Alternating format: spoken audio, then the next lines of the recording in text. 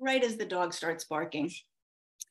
Okay, so welcome to day three of this workshop. This is a workshop, if you're just joining in for the first time, I know people have been enrolling yesterday and even today. So this may be your first time and you're going to catch the replays of day one and day two. But this workshop is all about the impact of our life experiences, especially when we've had wounding that has caused us to think and believe about ourselves a certain way, see the world in a certain way, and then how that impacts our quality of life, our health, our relationships, when we feel burned out, when we feel stressed. And tonight we're going to talk about the spirituality aspect of that and how my framework and perspective of spirituality.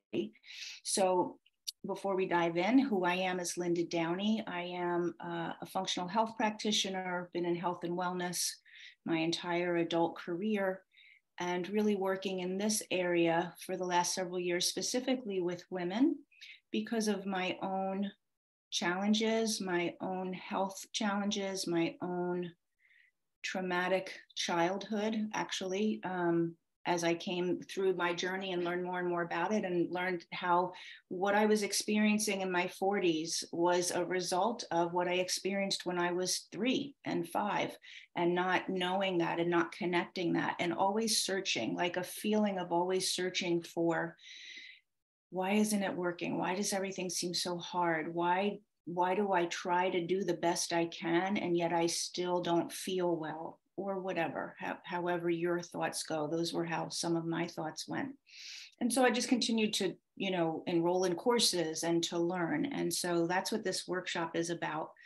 And every month, if you're new to my world, I do a free workshop every month that's interactive like this. I do a lot of regular live things. Um, that are posted everywhere, but I like to do something interactive and to give you some tools. So that's what this is for this month. And then I also want to extend an opportunity if you feel like you want to go deeper or this really speaks to you and the way that I work makes sense to you, um, that there's an opportunity to enroll in working with me. And we can, I'll share a little bit more about that before we finish up and um, that's always an opportunity but when when i do the workshops i really like to make a point of it because i'm really targeting some specific things so that you get a sense of what it is that uh, we do in the work together and with the women who decide to do this kind of work. So that's who i am that's what this workshop is. And a quick recap we talked about trauma and the definition of that again from my perspective and my training is a wound that is still painful that still um, causes a reaction when it's touched, an emotional wound.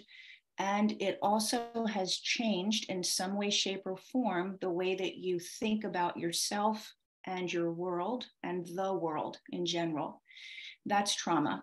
So, and that's really that definition. I want you to keep that in mind because as we go into spirituality, you'll, I really see the connection of like who we are when we're born as a spirit and how that gets changed and shaped based on the things that happen to us and then how we create our beliefs. So the traumas, and they could be big, major, significant things, or not so big, just really what, what are oftentimes very normal life situations. But um, it just depends on who that person is, how they experience it, what emotions come up when that experience happens, and then how that changes the thinking. Hi, Devry. Hi. So, um, so um, yeah, keep that in mind when we get into the spirituality part. So that's what we talked about on the first night was really defining that, what the wounding is, and that there's also a, a block in growth in some way when that wounding happens. Just like if you wounded yourself on your leg or your arm, it would change the growth. There might be a scar, um, but it would in some way change the tissue, right? So the same thing happens, it changes our growth. And here's the key for tonight's conversation it changes our spiritual growth. When I define my perspective of spiritual, I think you'll see that connection. So we talked about that and how it then, those wounds, I call them core wounding. I don't call them, they're called core wounding because they are at the basis of when we develop and when we're learning. So they're like, you know, what, what your core is. It's the thing that really holds everything else up. And they they form core beliefs. So the core wounds will for, form the core beliefs. And the core beliefs are the beliefs you have about yourself that are inherent, they're subconscious.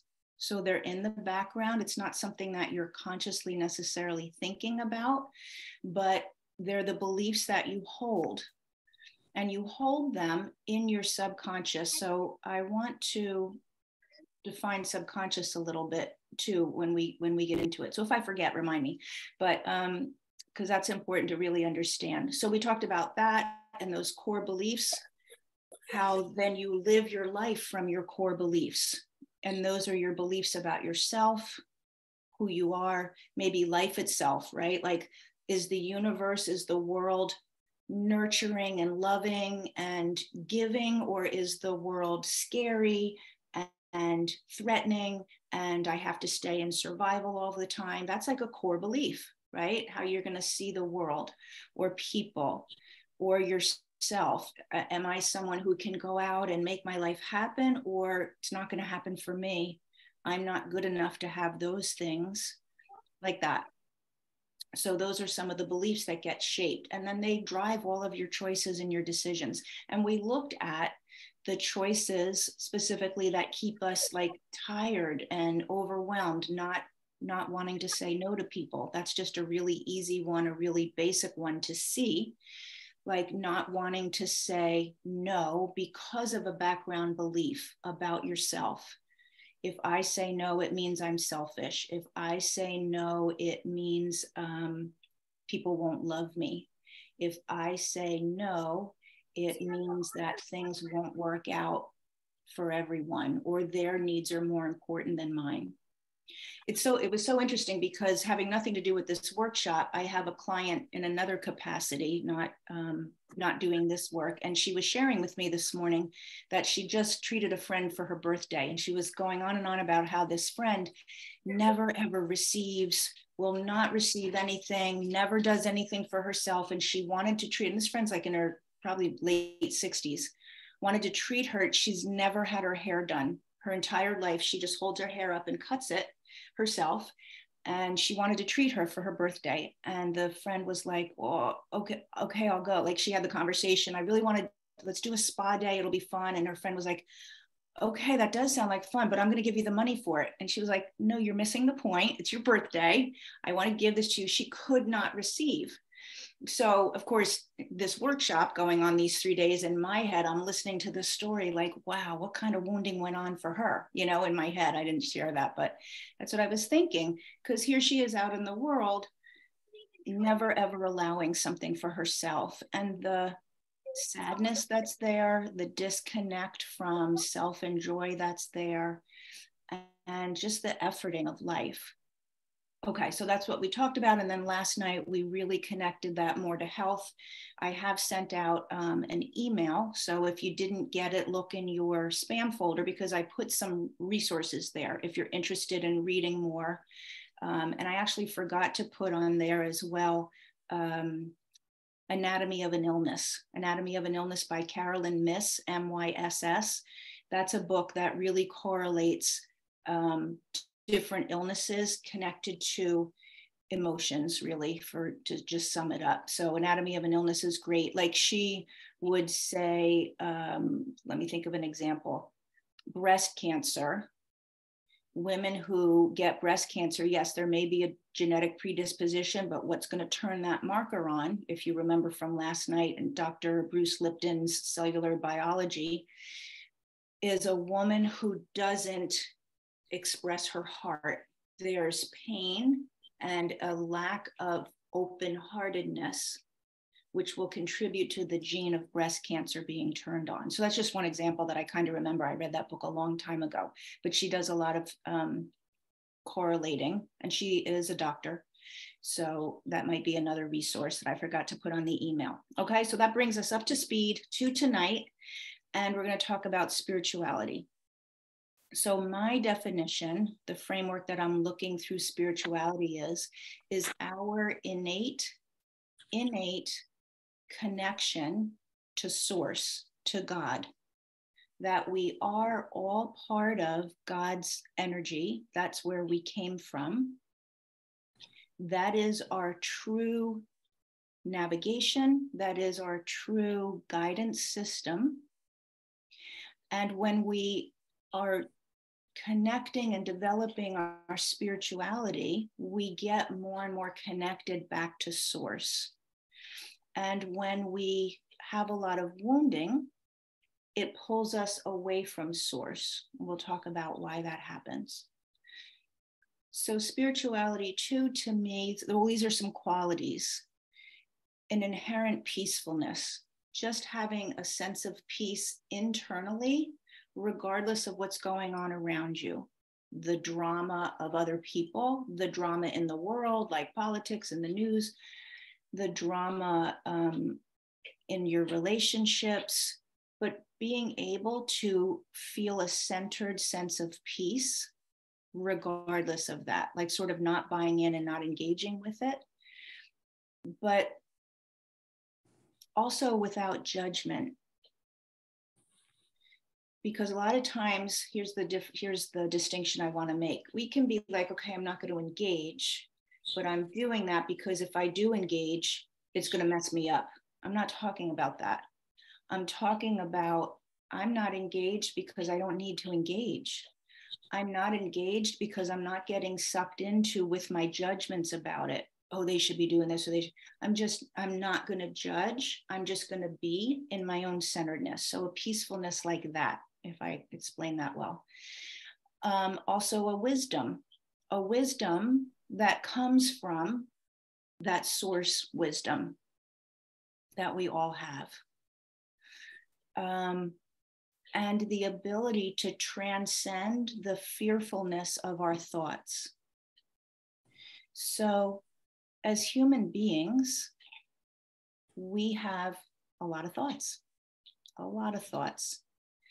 And the ego is really what drives a lot of our thoughts. The ego is the part of our mind that's made to keep us safe.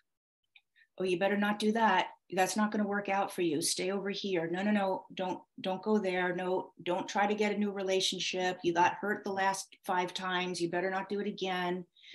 Whatever it is, that's the ego and it's the ego's job to keep us safe but the ego is also going to keep us really small and it's also going to keep us fearful.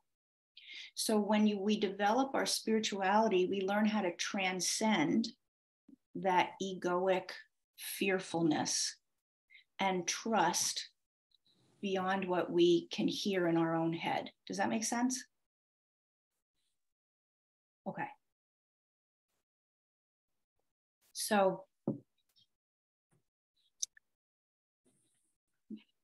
from my perspective, well, this is really the perspective of quantum physics, which has been now the accepted model for actually marrying spirituality and science. There's, as, as beings, we have a lot of dimensions. So I just want you to hear this from wherever you're at right now in your life. And if it's different than what you've heard before, just chew on a little bit, just like look and see how it sounds for you. But we have actually 10 different dimensions of our being. And the third dimension is our life here in a human body. In this physical body is the third dimension. And the third dimension is how you do your life, right? It's moving your arms and legs, going to work, making things happen, picking up the phone. It's the doingness of life that we do with our physical body. And your physical body can only ever be in this moment right now. And right now, and right now, there is no past other than the exact moment that you're in for your physical body. It can't go back to five years ago. It can't go ahead to the future. It can only be right in this moment. That's your physical human body. That's the third dimension, right? So the three dimensions are height, width, and depth. That defines our third dimension, our physical, our physicality.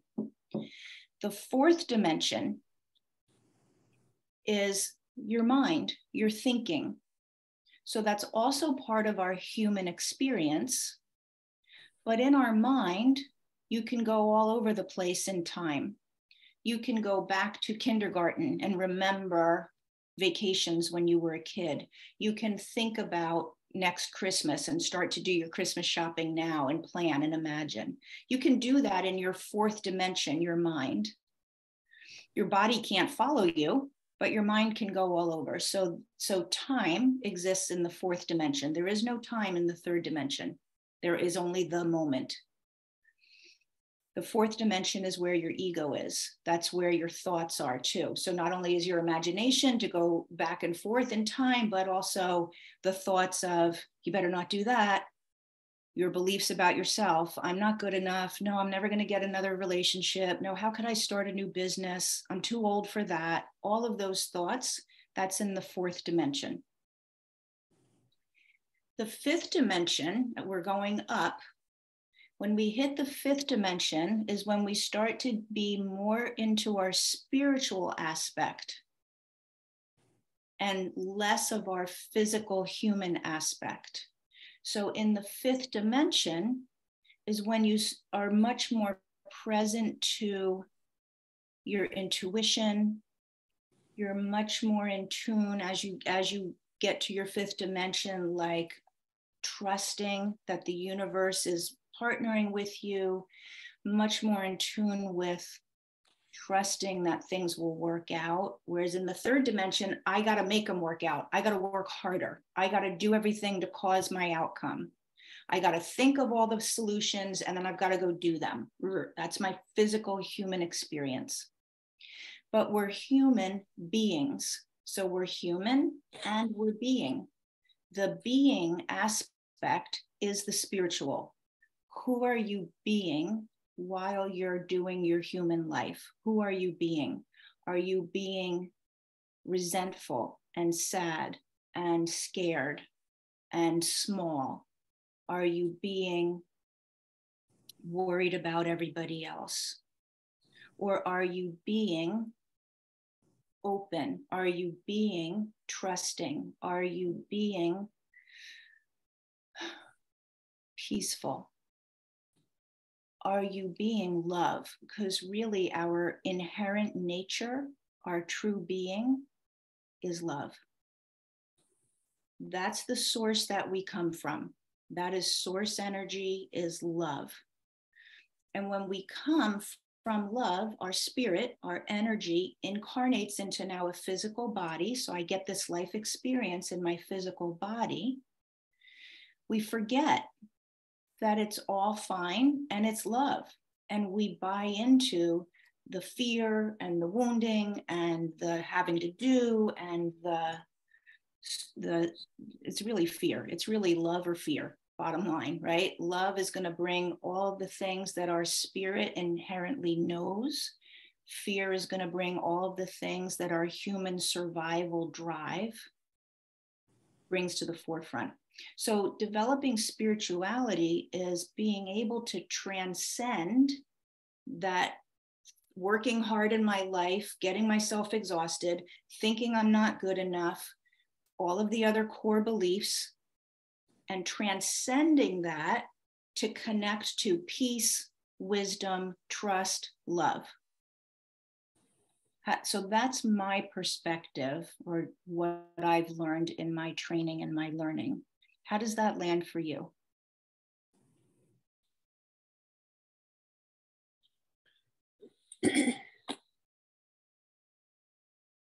I good, think complete sense.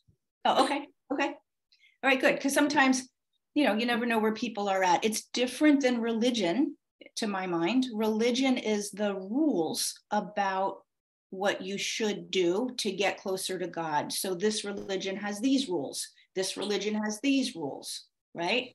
You and I could come up with a new religion tonight and say, these are the rules.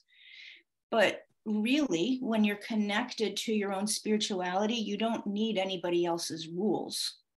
It's the humanness of the fear that thinks somebody else knows the right rules. Certainly I don't. I better go listen to their rules But when you connect to, we all come from source. Nobody has more access to rules than you do.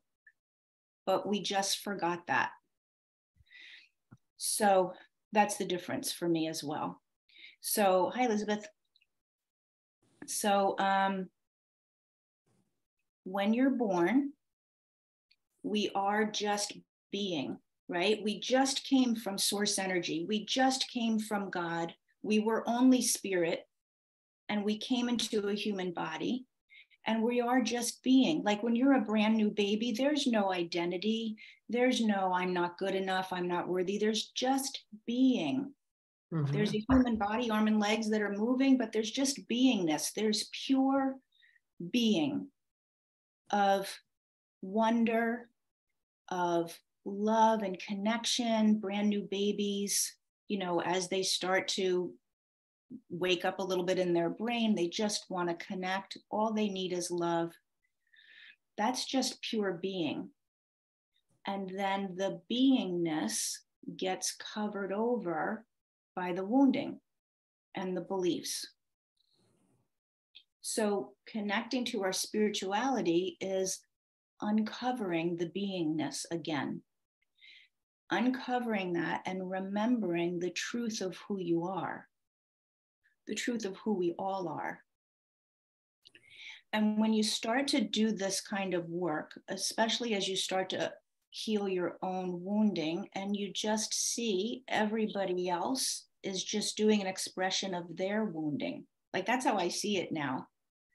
Um, it, now there is the peace. You don't have to fight back. You don't have to prove your point. You don't have to feel defeated like they won. You don't have to get your last word in you know who you are and you see them as they're just doing their thing from their wounding. I just got to love them back, which is, I know, easier said than done. like, I'm just going to share with you guys. Um, so, if you've been following me, you know, I do. Have, have any of you seen I do like morning coffee conversations? Mm-hmm. First thing when I get up, like, and I purposely look like hell because it is 30 in the morning and I'm having my, my, coffee and I was like, oh, this really works for me. I don't have to worry about hair and makeup. I'll do this first thing in the morning and I'll make it really obvious. Anyway, so I'm having my coffee and I really am having my coffee. And um, a couple of people this week, and it's so interesting. I, I've been doing the topics on these kinds of topics. Sometimes I do other things, but because of this workshop, I'm promoting the workshop. I'm talking about trauma. I'm talking about wounding, right? So a lot of people are commenting. And I've gotten like three comments in the last two days of one guy said, You're so rude and you don't, um, how did he say it? Uh, he said, Respect your audience. You're so rude with that cup of coffee. Now, before I would have done a lot of this work, I would have been like, I can't believe, like upset or have to get the last word in or all the things that you might imagine you know? And there were i've been doing this online for many years. So there have been times when people have challenged me and i had that exact reaction. But today and another woman said like i like i'm not a real person oh she's so annoying the way she slurps with that cup in her hand right? So so i respond i'm like thank you for watching. Like hello you know? But um I can really see it as that's their wounding. Like, I don't need to get plugged in. That did not used to happen. And the one guy, I said something like, like um, if it bothers you, you don't have to watch, you could just listen or grab a cup with me. But either way, I hope you have a good day. And then he responded back with, so he we went back and forth a little bit. If you follow my page you'll see the whole conversation. But he said something in the end he ended up apologizing. And i said apology accepted. We actually have a lot in common and i'm so glad that you listened. But like that's the place you can come from. I don't need to prove myself. I didn't apologize. Like oh sorry did my slurping a, like it's hot coffee. So i'm like you know you slurp when it's hot. So at least i do. So that's an easy, simple little example. But in your life, either you need to prove your point, or you're like, they're proving their point. Uh, okay, I'm going to keep my mouth shut, but I'm mad, or the judgment. So, I mean, we could we could be on here for three hours tonight with this topic, in my opinion, and it's really part of my favorite part of this work. But when you're doing the kind of work that I'm talking about, that all gets kind of released, and you just kind of see people as doing their thing, and it's freeing. It's freeing because you don't have to engage. So when we're born, you're just the I am presence, and then life starts to happen. And if you were born into a family or an environment of caregivers who have their own wounding, people only have the tools that they have. That's one premise that I have taken on and that I work with my clients on it on looking from is people do the best they can. They really do. It's just that the best they can sometimes is not too high because of their own wounding. So, ways that you can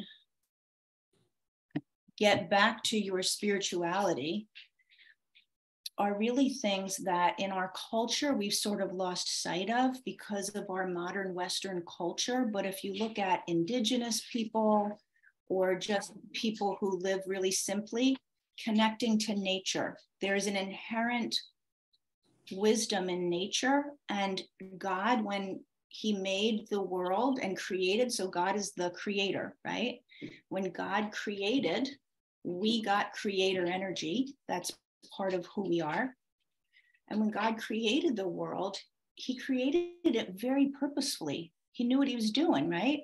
So the trees give off oxygen, which we need, and the trees absorb carbon dioxide, which we give off. That's just like one tiny, tiny example of how nature is so purposefully and magnificently put together, right? So being in nature brings your body physically back to a state of peace. There's a polarity in the earth that will absorb the ions from computers and cell phones and microwave ovens and all of that, which disrupts our energetic balance. So I'm going to, we're going to be talking about energy too in just a second. But the earth will actually absorb that and help change that and bring the polarity back into your physical body.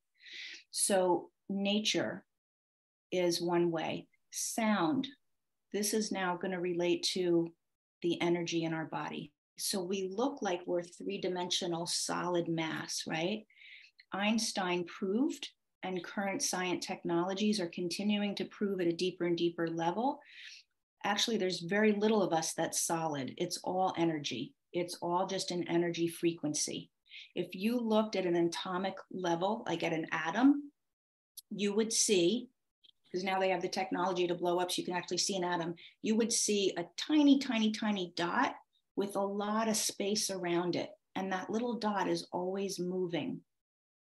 And then how it's moving is the frequency. So at an atomic level, we are mostly energy. We feel solid because that little dot part bumps up against the borders and so you feel the rim, but what's really inside mostly is energy. And the energetic frequency of our physical body comes from energy, the energy field. That's also to me, I don't know what you guys think about this, but when I think of like how people fight over is it the Bible or is it Big Bang? Well, maybe God did it with the Big Bang. like maybe that's how he did it, you know?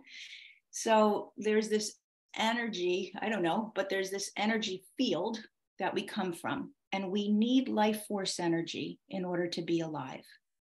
If you didn't have energy running through you, which we get from the sun and we get from that source energy, life would be over. The sun is a big part of the energy field as well for the physical body. So, um, so there's an energetic field in all parts of our body. And I'm going to link this now back to yesterday. Every organ, every system of your body has an energetic frequency unique to that system. Every emotion that you feel has an energy frequency to it. So there's, um, I should have thought to bring it up. You know what? When when I send this email out, I'm going to attach, besides the replay, I'm going to attach a chart for you so you can see what I mean now. I just didn't think to pull it up. So there's a, a an emotional frequency chart. And that chart shows emotions and what the energy frequency is of those emotions. The bottom and the bottom emotion is shame. That is the lowest and that has an uh, emotional frequency or an energetic frequency of 20. Now, even a dead body, once we die, decomposing, it takes energy to decompose a body, right? So, a decomposing dead body is somewhere close to 20, which means people walking around holding shame about who they are, holding shame about what's happened in their life, are like the walking dead. I'm just going to put it that way, right? That's the energy frequency that you hold in your body. From shame, we go to guilt, we go to resentment, we go to grief, sadness. I, am not remembering the order exactly, but those lower frequencies are the frequencies of victimhood, the frequencies of wounding and trauma, as you go up, when you get to the higher ones, which is where Jesus lived and other really enlightened people, the highest is an energetic frequency of 700. So we go from shame to 700, 20 to 700. It's called emotional frequency. This is this is David Hawkins. He really pioneered this. He has passed away. He was an English psychologist. He has several books out. Um, Letting Go is one book. They're pretty thick and they're not easy reading, not hard, but not easy. But he has a really great chart of that. So when we're looking at the beliefs, the core wounding and the beliefs, and now we look at this chart and we see what, where our emotions are, then you can see spiritually where you're at. Because if you're in shame and guilt and sadness and grief and resentment and anger, there's a long way to go to joy and peace and love. So we have to release those emotions. That's part of reconnecting to our spirituality is getting rid of those emotions that hold us. So definitely I promise to attach that chart to the email. Okay, so you could see this. I'm sorry I didn't think to pull it up for you guys. Um, okay, any questions on that? No? Have you ever heard of an emotional frequency chart before? Is this totally new? I haven't. Oh, good. Well, Devry is. Uh, we're going to be doing more work on that, so you'll you'll get a lot more work on that. But it's um, remember emotions, emotion, energy in motion when we don't move the energy, something happens to us and we're told, you better not cry. You better stop it right now. And we, where does that energy go? It has to go somewhere. You know from high school biology or physics or whatever, energy never, you can't kill it. It doesn't destruct, it just changes form, right? An oak tree is a seed, then it goes into a tree, then that dies, drops more seeds, that, you know, and there's just a constant going. The energy just changes form. It doesn't ever really get destroyed. So the energy in motion, the emotions that we held in, that we don't express, that energy has to go somewhere. That's going to disrupt when we hold it in the body, it will disrupt the regular frequencies of our, our organs and our systems and our tissues. There's a frequency that's supposed to be there. Now we have anger. Now we have shame. Now we have fear. Especially fear, because if you're in a life where you're fearful every day, you know, it's one thing to have the anger that's been in there. They're equally damaging, in my opinion. But you've got the stuff that's been in there since you were five, and you've got the stuff every day where you go, oh my god what's going to happen today what if look at look at the political landscape, look at global warming, look at the job situation. I mean, you can make yourself fearful every single day. And what it does is it puts you in that frequency. The spiritual work that I do with my clients, when we were on the uh, last night, on last night's call, those ladies that started coming in at the end, that particular call is a spiritual group. They've done core work with me, and now we're doing deeper spiritual work. Um, but really looking at if I'm going to be afraid, like let's just say I watch the news and I'm afraid with what I see on the news, you can never be afraid enough to make a difference. The fear is not going to make a difference. Your fear is just going to put you in the same frequency as the polarizing human survival that's going on. The love, love frequency will transcend and will help counterbalance that. We're going to do something tonight called a healing code together as a healing tool. And I'll explain that a little bit more. But participating in those things from a place of fear just has you be part of that frequency. Did, am I making sense? Yeah. Okay. So, back to a brand new baby. We come into this life, we are pure being. We are certain of who we are. We don't have an identity yet, but our soul knows who we are. And I think it's uh, up until the age of four. There's lots of studies, there's books on it where children like see God. There was, oh, where did I? This was in a book that I read, especially when my daughter died. But honestly, in my 20s, I was interested in this stuff. I have always been reading this stuff, it's always called to me. And then obviously a lot more in more recent years. But one of the books I was reading they shared a story of um, oh it might even have been in the healing codes which i put as a reference for you in the email this uh, family had a brand new baby so i think they had a three-year-old daughter three or four and a brand new baby and they had the monitor in the in the baby's room and they were listening and they heard the little girl say to the brand new baby you've got to tell me remind me of God because I'm forgetting. I'm starting to forget. She's saying to her little brother, sister, I can't remember, with no adults in the room. And it was an example, but there's a lot of them when children will say stories or say things, there's like, where are they even getting this from? Right? Where are they getting this from? But it's a remembrance. As time goes on, we forget, but it's a remembrance of where we came from. It's a remembrance of our true nature which is source energy, which really is love. Bottom line. I used to really see all the stuff around love is love is the answer, love cures it all. And I like here got it. I'd be like, yeah, yeah, yeah. Yeah, yeah, yeah. You know, I'm scared to death about everything. you know what I mean? Like I I got it, but I didn't get it. When you really get it, it is the answer it is the thing that we need to get back to and remember. It is the core of our spirituality. It's just our beliefs and our wounding that's covered it over. And you can use your trauma, you can use the wounds as a portal, for lack of a better word, a stepping stone, a catalyst, the thing that propels you into the deepest knowledge of love that you've ever known, it requires letting go of the core beliefs. It requires letting go of the identity that you created. I'm a victim.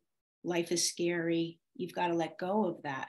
But if you're willing to, the, the contrast of living in wounding and fear to living in love and healed and remembrance like that little girl i gotta i want to remember where i came from that's really our soul's whole mission is to remember the truth of who we are. That's it.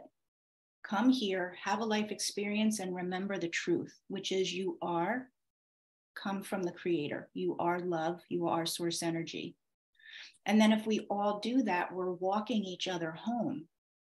We're just walking each other home. But if we're not remembering that, then we're fighting each other the whole way for what we think is what we can get or what we don't even believe we deserve or any of that. You know what I'm saying? Okay. I had one other thought that I wanted to say to you guys. Oh, the subconscious. Remember, I said remind me. so, the subconscious, so you have your conscious mind, which is what am I going to eat for dinner? Am I going to be on the workshop tonight? Am I going to go take a shower? All those conscious thoughts, the things that you have, that's maybe 5% of what your mind is doing is conscious. 95% is subconscious, it's in the background. It's the thing where you say, maybe I'll maybe I'll call so and so and your subconscious says, "Oh, don't do that. They don't, you know, they don't really like you anyway." You're you're not conscious of that thought, but that's in the background where you go, "Yeah, maybe I won't." So the subconscious beliefs that we hold are 95% of what drives us.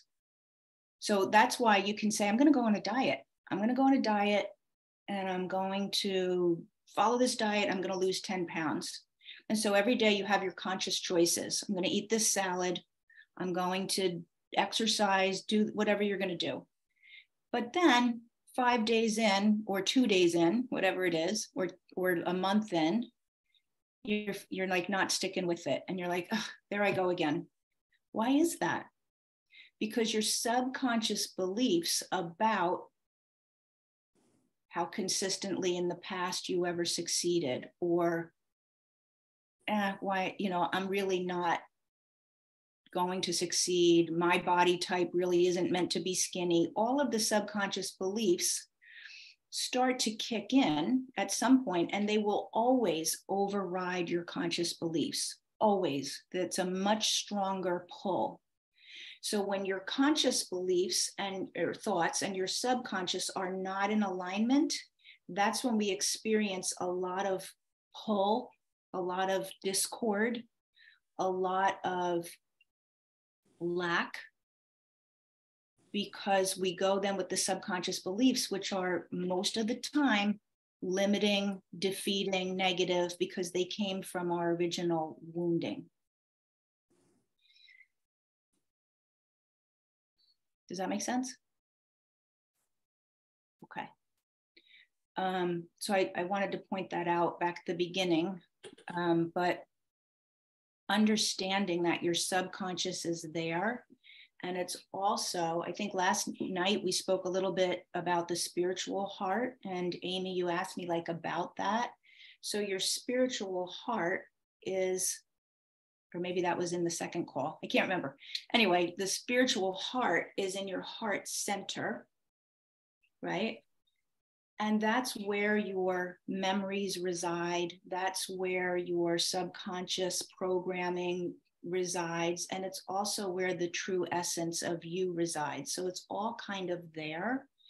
And it's a matter of which are you connecting to to put it in a you know in an easy way to understand. That's the way that i sort of understand it as i go through. So what we want to do is transcend the limiting negative beliefs and get to the truth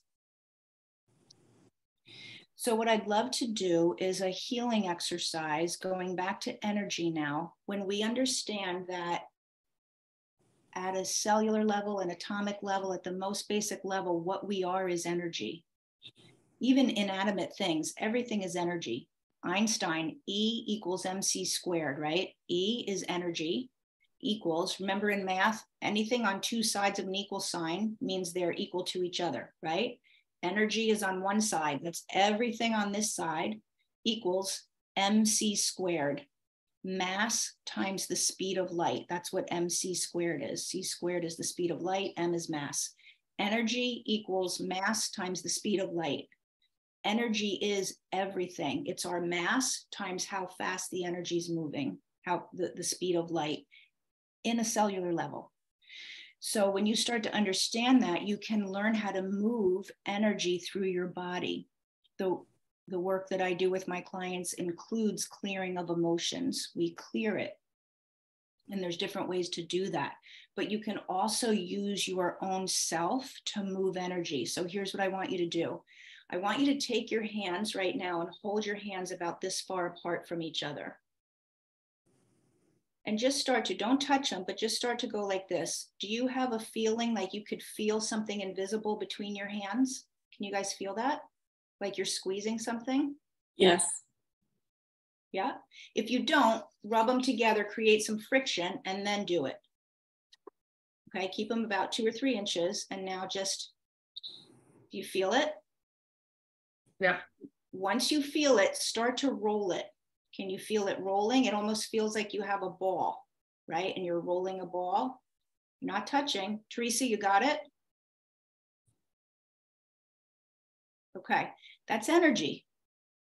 Our hands have a lot of energy to them, and you can move energy with your hands energy is a lot like water in my mind the way i understand it right energy is everywhere and it flows life force energy comes in, into us and we need it it's also the way that we interact with source is through our energy field the emotions that we hold is what's giving information to the energy field if my emotions are fear and sadness and shame and guilt that's the information that's what i am connecting to Mm-hmm. But I can use my hands. So I'm going to teach you. This is a universal healing code. So, healing codes, I gave you that as a book. Dr. Alex Loyd and Dr. Ben mm-hmm. Johnson wrote that book together. I became a healing codes coach several years ago. Somebody sent me to another guy who was doing healing. I was struggling with my thyroid and my autoimmunity. I'll, we're going to go into it in one second. I want to give you the background and this guy took he had me take a selfie with my cell phone and say into my microphone on my phone my name is linda. That's all i did. My name is linda and i took a picture and i sent it to him. I never met him. I still have never met him. It was a favor from somebody a colleague of mine was like oh you got to check out what this guy's doing. So he sends me back an email with a full report. This is technology that nasa is actually using now an energy technology that this guy uses for health. He didn't know anything about me. He knew my name is Linda and he had a screenshot. He sends me back this report. You have issues with autoimmunity. There's a lot of anger because the technology can see the energy field. That's why now we have the technology hmm. to marry wow. with the spirituality. So he's so he's sending all this stuff back. He has no idea. My daughter was still alive at the time, but he has no idea. My husband had been having an affair. It's been 15 years that she's been in the hospital. I had an alcoholic childhood. He has no idea of any of that. But he's rolling back out autoimmunity, grief, sadness, anger.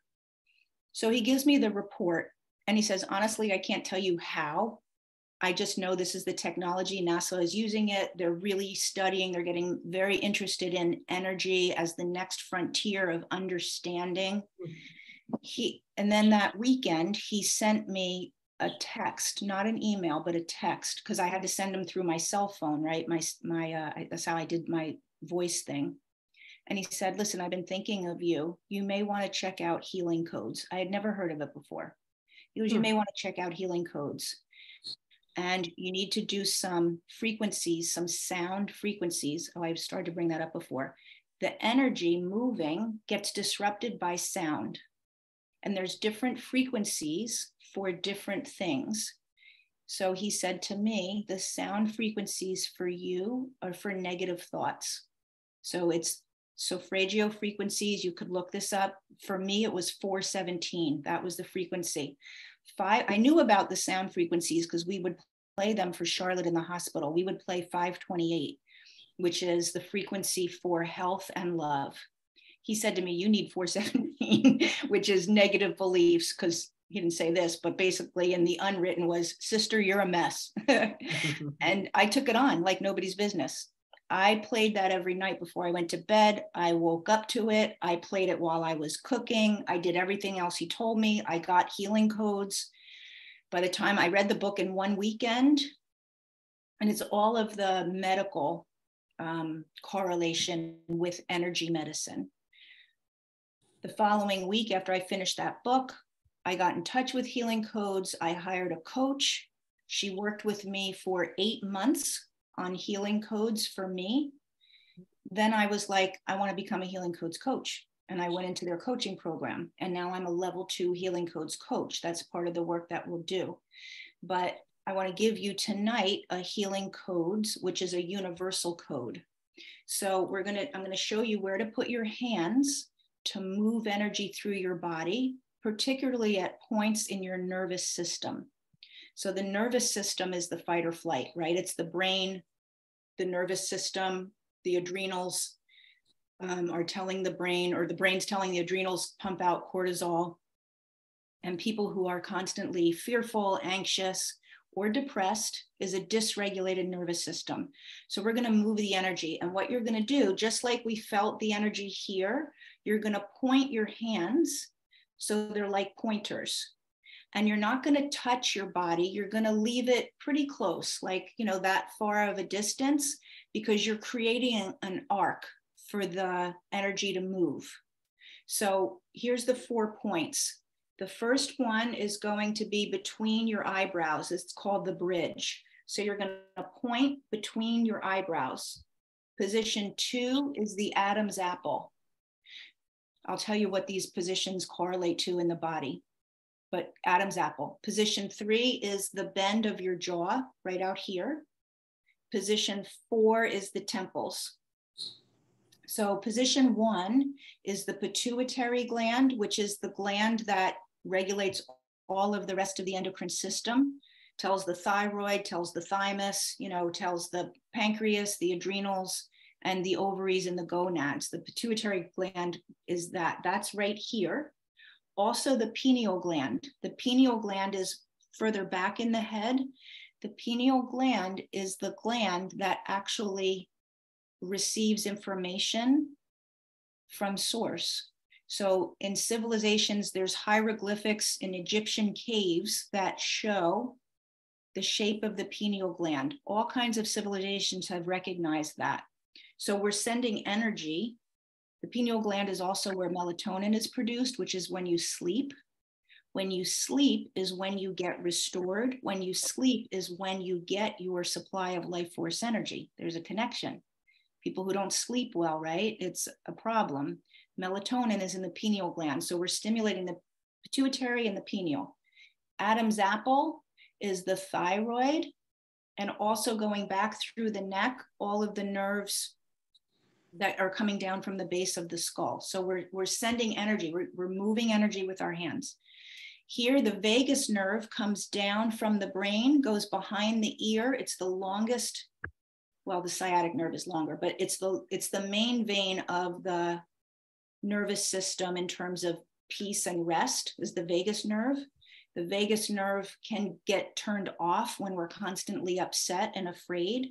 So you want to stimulate the hmm. vagus nerve. It comes down, it goes through all the major organs, and it lands in the gut. That's also not a coincidence, right? Your gut intuition, mm-hmm. the gut brain connection. What's one of the first signs when things are a problem is gut issues. Starts off, I'm bloated, I'm constipated, or whatever. Next thing you know, three years from now, you got the next thing. Vagus nerve ends in the gut. So it comes down here so you can stimulate your vagus nerve like this, but when we're pointing, that's what we're doing is we're sending energy. Remember, energy never is destroyed. We're telling it where to go and how to move. Just like water, water is going to flow wherever you put a dam, the water hits the dam and it goes that way. You make a something lower, the water goes to the lowest point. Energy is going to move. So we're moving it with our hands. And then the temp is the right and left side of the brain. When you're in fear and upset, the back of the brain, the amygdala, is taking over. And the front of the brain, which is the problem solving, and when you're at peace and rest, you're here, gets hijacked, and we're in fight or flight back here. So we're now stimulating right and left sides of the brain. Okay. I'll tell you where to move your hands.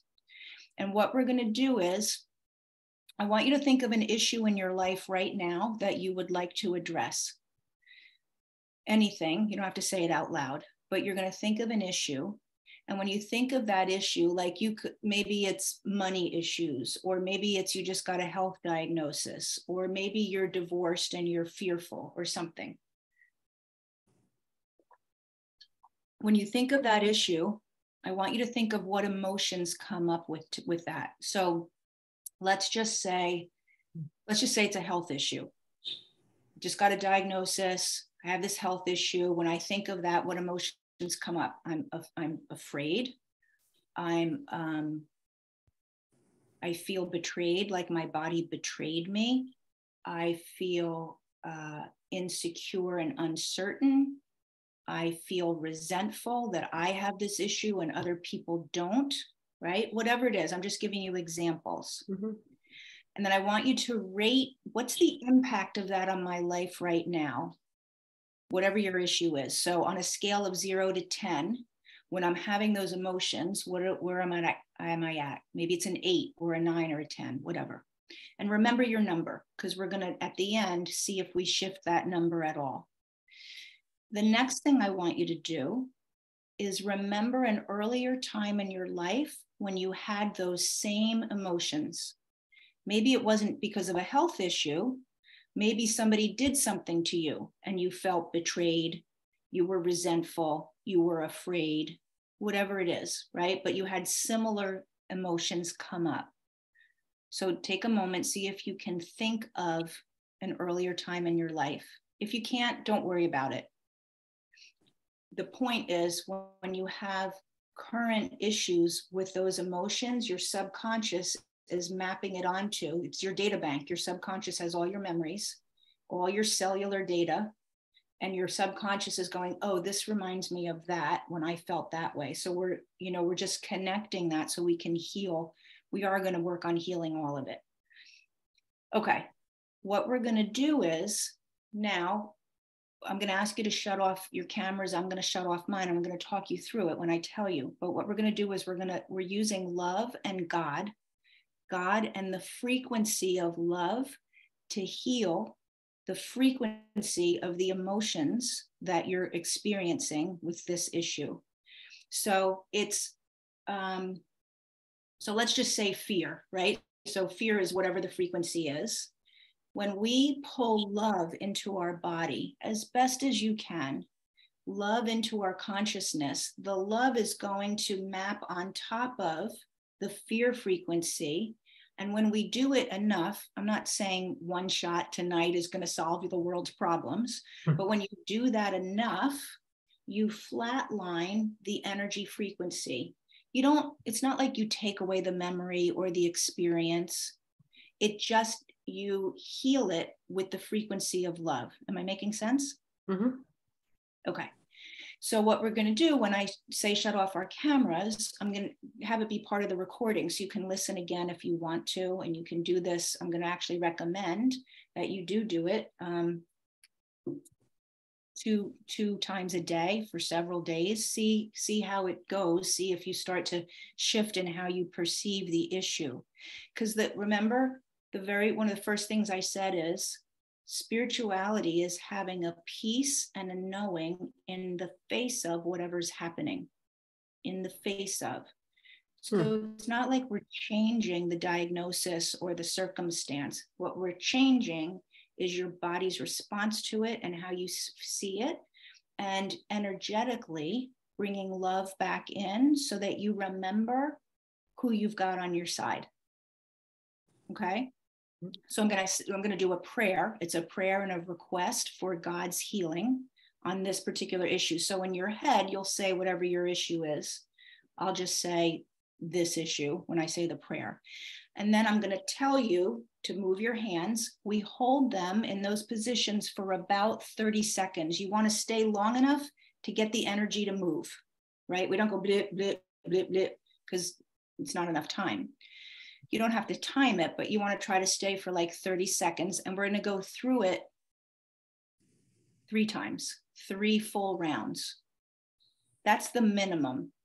When I do custom codes for people, which is what I'm giving away as a bonus for coming, remember I said I would have some bonus gifts for people.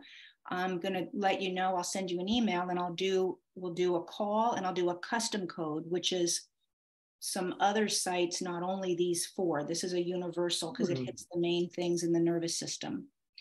But a custom code might be do it for 10 days or two weeks or do it for this amount of time. A universal code is like a basic generic code and it's three times through and twice a day.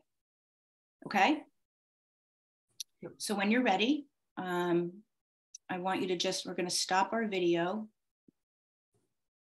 Hopefully, this is not the time when the dogs bark, but you never know. It's just part of it, right? Um, Eileen, do you want to stop your video? There you yeah, go. sorry. No, no worries. We just, just, we're putting our hands near these. We're not actually touching, right? Right. You're going to do a little bit of a space, like maybe, I don't know, an inch, because you okay. want to create an arc, like an electric arc, you know, mm-hmm. for like a circuit. And just remember the, you know, when we just did our hands, that's what we're doing. So before we get started, we want to really get present to love because love is the frequency that heals. Love is the thing that we return home to. So I want you to think of an experience when you felt loved, maybe someone's face that you love. It might be Jesus or you know your image of God or Mother Teresa, something. This is my image of love. I imagine myself sitting in Jesus' lap and he's big, not as big as the Lincoln Memorial, but big, like bigger than me. And I'm in his lap, and both of my children are in my lap, and they're little, they're both little. And I look down at them, I feel the love in my heart for them. I look up, and Jesus is looking down at me, and I feel love from him. And I just can create a circuit or a cycle of love God, Jesus, whatever to me, to my children. They're looking up at me. And that's the image that I always do when I do a healing code. So, giving you just a couple of seconds, a minute to get the frequency into your body of love. I want you to put your hands on your heart and rest into this healing session right now. So, you're going to take a deep breath in you're going to exhale out and let your body relax into the chair that you're sitting in. And again, a deep breath in, pulling in your vision of love, whatever that is, and resting into that frequency and that image in your mind. And as you do another couple of breaths at your own pace, I want you to start to imagine seeing like a glow of light coming out from the center of your chest. So, just in your mind's eye, your eyes are closed, see like a light building. The light of your own love at the center of your chest coming through and starting to light up. And as you just continue to be in your frequency of love, this prayer of request, Heavenly Father, Infinite Spirit, that you would take any negative beliefs, any cellular memories, any misinterpretations that I hold in my body and in my memory and in my spirit that are related to this particular issue in my life right now, anything that is known that I'm am aware of, and everything that is unknown, that is stored in my memory that I am not aware of, that you would release that, open it up, heal it with your light and your love. And that the power of this light and love heals me a hundred times more than I could ever imagine. Amen. You're going to go to position one. You can let your elbows rest or put a pillows under your arms if you want to. Take your hands in that pointer position between your eyebrows. That's the bridge. And just hold it there, and you're just going to keep focusing on love. If you want to, you can imagine like a movie screen in your mind's eye and put whatever is your issue on the screen and then see like a spotlight of light and love shining on that issue if you want to you don't have to but just hold and be in the presence of love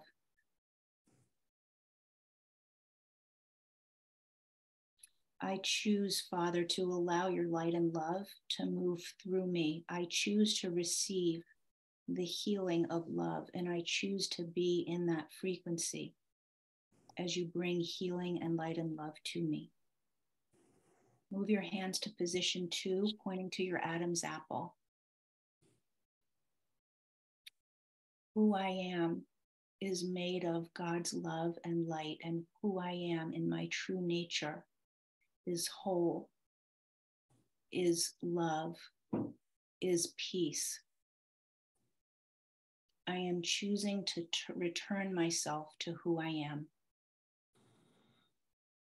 with each step of the way and your light and love guiding me, my journey back to who I am is on its way.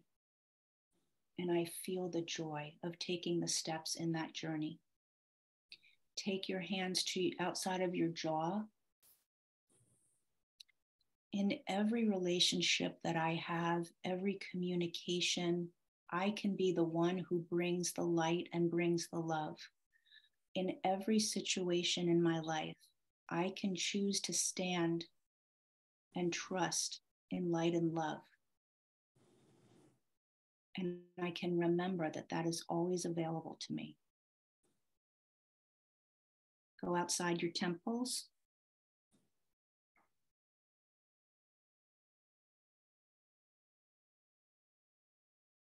I choose to release the fear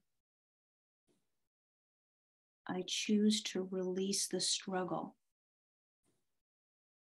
I choose forgiveness for myself and for anyone else. Where I've held anything other than love, I can choose to release it when I'm ready. With your light and love, Father, I can do that now. Go back to the bridge, first position anywhere in my mother's side of the family, anywhere that my mother, her parents, and their parents going back as far back as necessary, where the messaging of fear, the messaging of unworthiness, the, the messaging of not being lovable, anywhere that that was passed down to me. With grace and compassion, I release it I hand it back. I'm grateful for the learning. I'm grateful for the family support, and I'm not going to hold any messaging that doesn't serve my highest and best self. I give it back now with love and compassion. Next position, your jaws. Anywhere on my father's side of the family, anywhere that pain was passed on from generation to generation, anywhere that I received the messaging that limited me, that kept me from my true self, that blocked me from seeing the love that I am, with love and compassion for all of those that came before me, I release the messaging now and choose not to hold it anymore. Move to the fourth position, your temples.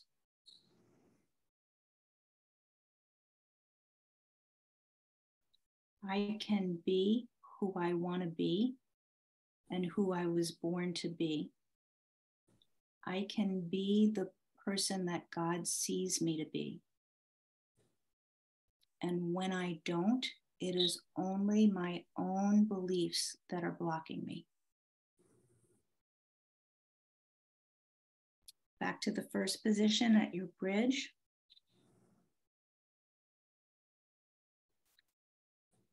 Anywhere that I stopped trusting in my life and in source and in God, I'm going to bring the trust back. Anywhere that I took away my power, I'm going to restore it. Anywhere that I need healing, I'm going to bring the healing by allowing God's light and love to shine in that area. Adam's apple.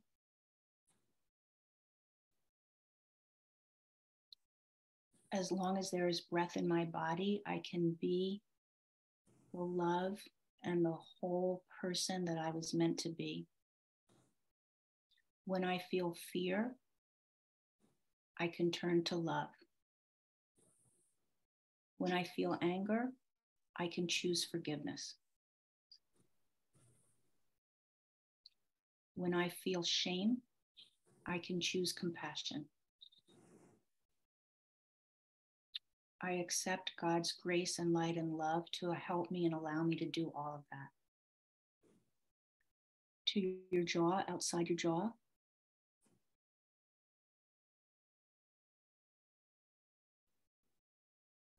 As I breathe and relax, I allow the energy of the pain and the grief and the wounding to move. I allow the light and the love to come in.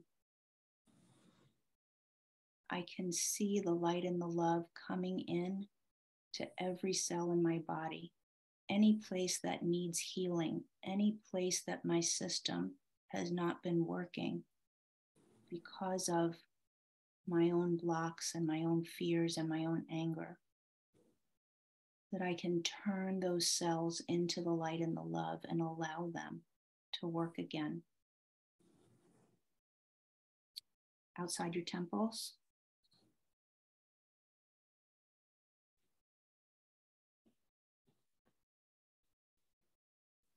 It is my choice to live my best life and it is my choice to ask God's light and love to guide me. As I look, each step of my way is lit up. I just have to follow the light.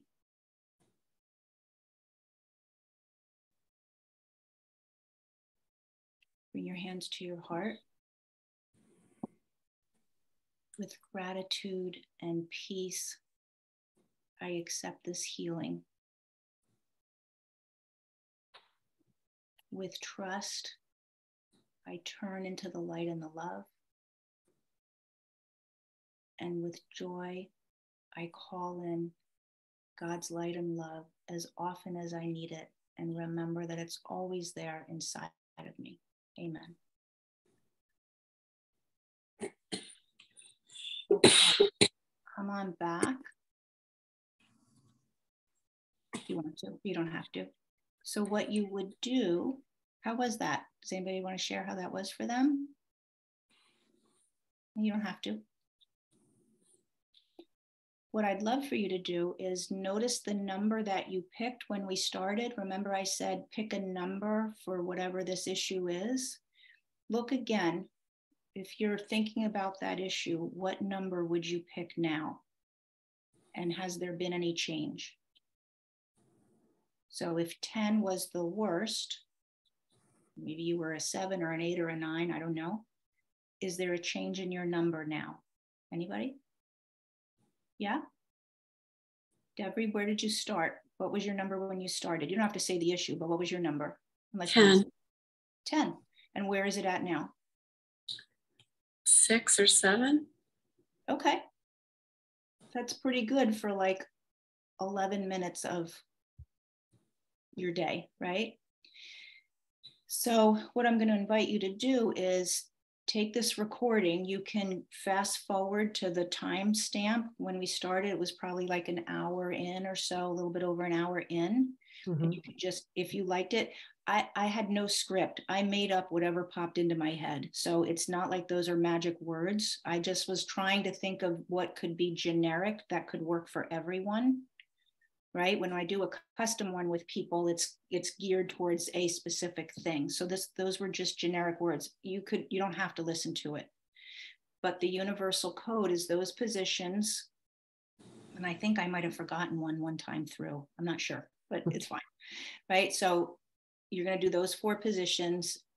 The statements are called truth statements because they're trying to get you to believe the truth rather than the lies about yourself.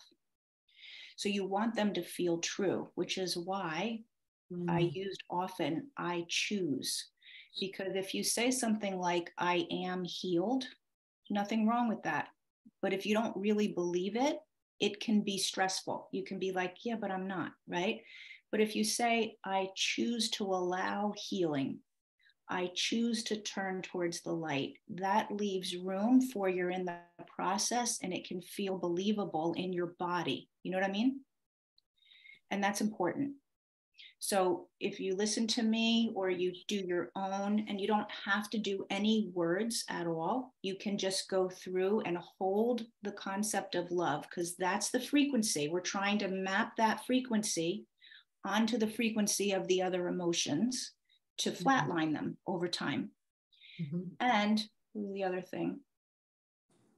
Um, oh, this this the movie screen. That's also a technique. You don't have to do it, but if that works for you visually, you could picture like a screen with your issue on it, with light shining on it, light and love, and then just don't try to make anything happen, but just see if that changes you know sometimes people say it like melted or it just disappeared or something hmm. right? So any questions on that? It's a lot to take in at once but it's a lot to take in at once? Yeah. These I mean, I'd, days you mean I'd like, to, I'd like to read more about about them. The healing codes? Yeah i'm just saying i'd like to remember everything well, when I say a lot to take in. Yeah, yeah, yeah. Well, that's why I record it. And that's why this month in particular was three parts because I felt like, I mean, I could have just done one part, but I kind of wanted the whole picture. And it is a lot. And that's why I didn't do it all in one night because by the time, you know, you just kind of tune out. So I broke it up and that's why it's recorded. So you can listen again. And Deborah, you know, you have access to me whenever you want. Yeah. Um, and it is a lot. And, you know, I'm going to invite you if you feel like you want to do more work. This is the work that I do. I it is a lot. I've done a lot uh, for myself and a lot of education to try to pull it all together all of the parts of it the belief parts the neuro the you know the neuro anatomy the energy and that's what i do so for people who have been on the workshops. Uh, so a couple of things. Number one, I'll be letting you know if, um, you know, who won, whatever. I'm going to just pick somebody to do a custom thing like that, that for you as a gift. I also can do that with you if anybody else wants to do it in terms of like they you just want to do a session i do do just sessions with people and you could reach mm-hmm. out to me if you want just like a healing code session or something like that and also the three month program that i do is three months intensive work on all of it. We move through it together. We're on calls twice a week. So there's a lot of contact. Um, and then after that, when people are done with that, they actually go into like a, a, monthly group call that I have with my, I call them alumni, but we stay working together. And there's, that's a free thing as just part of having been a client. So if you're interested in that, there is, um, you know, as I said, there's enrollment happening for that right now. I put that in the email, and there is an incentive to be able to do that at um, a $500 discount. So that's, I think, a significant thing if it feels like something that you want to do. So just reach out to me. We start mm-hmm. next week. So you want to definitely think about that. And if I can answer any questions, send me an email and we can get on the phone. I can answer questions about that for you. But is there anything else with the content that we covered that you want to, while, while we're here, ask a question about? I really thank you for your time mm. and for coming. I hope it was. Thank you. Yeah, you're welcome.